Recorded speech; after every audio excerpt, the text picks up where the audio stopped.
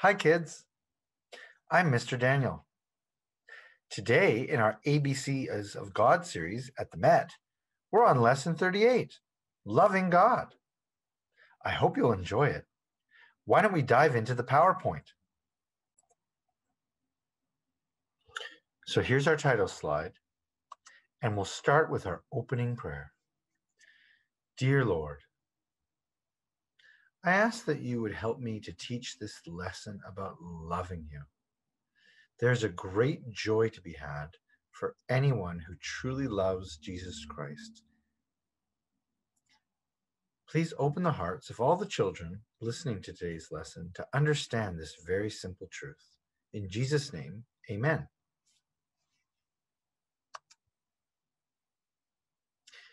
When you feel and act in special ways towards someone, that can show how much you love him or her. Look at this photo of a nice family. We've got what looks like a grandpa and a grandma and these three grandkids. And it's very clear from this photo that they love each other. They're holding each other and smiling. Here's some of the people that I really love.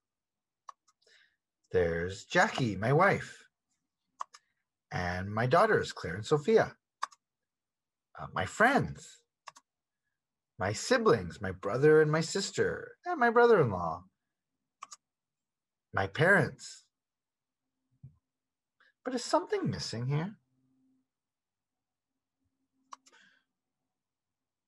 It seems like the biggest piece of my heart doesn't have a name on it. Do you know what name goes there? Well, in Deuteronomy 6 5 in the Bible, it says, You shall love the Lord your God with all your heart and all your soul and all your might.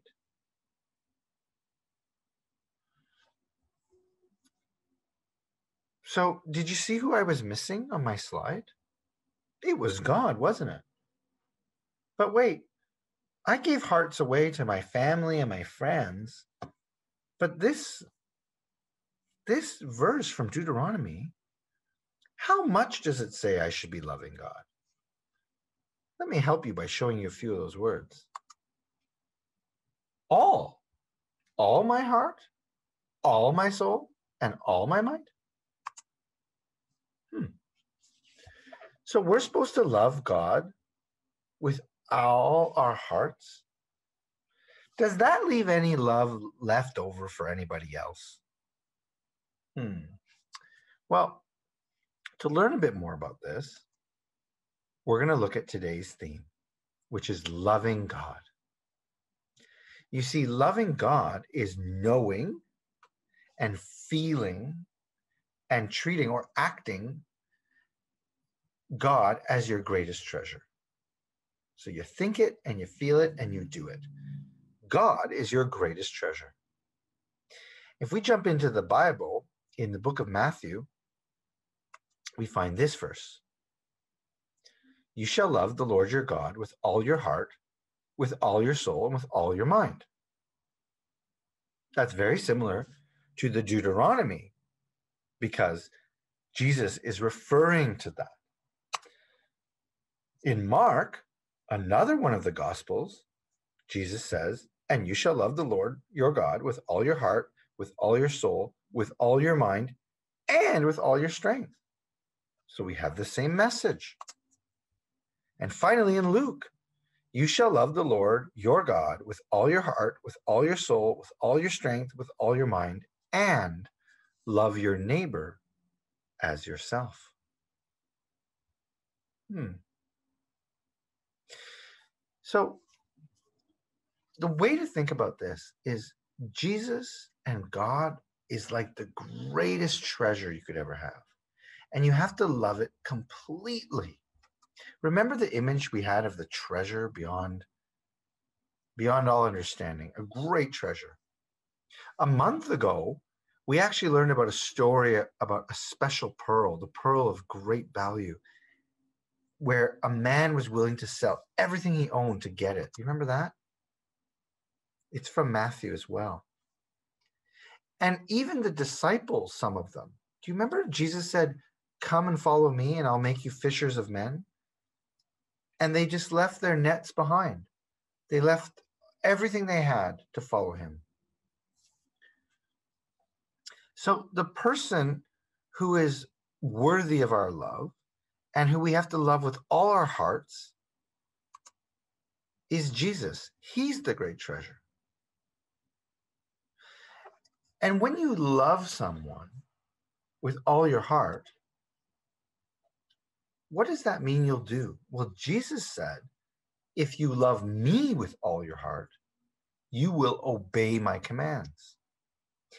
And the greatest command that Jesus gave is he said, love your God, so love me with all your heart, and love your neighbor as yourself. So that problem I was worried about, which is that if I give God all my love, what's going to be left over for my family? It's not a problem at all. You see, when we love God completely, He gives us the Holy Spirit and a new heart, which is capable of more love, of a greater love than ever before. And by loving Jesus, we obey him. And he says, well, love your neighbor, love your family, love your friends, love your brothers, love everyone. And so, in fact, by loving Jesus, we love everyone. It's really amazing. Here's your memory verse this week. It lets us remember that God is our great treasure. He's beyond all value. Whom have I in heaven but you? And there's nothing on earth that I desire besides you. When we're in heaven, God is the only treasure. And even while we're on earth, we cannot get distracted by toys and things of value because the greatest treasure in our lives is our relationship with Jesus Christ.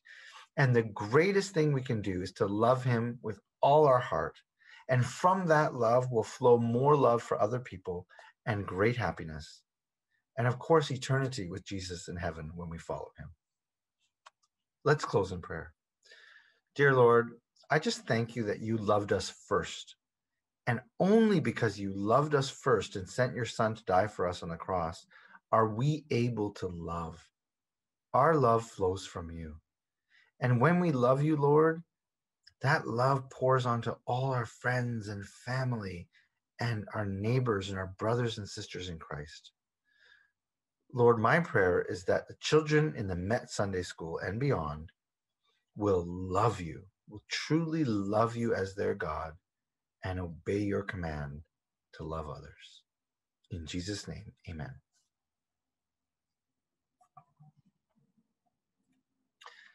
That's the lesson for this week.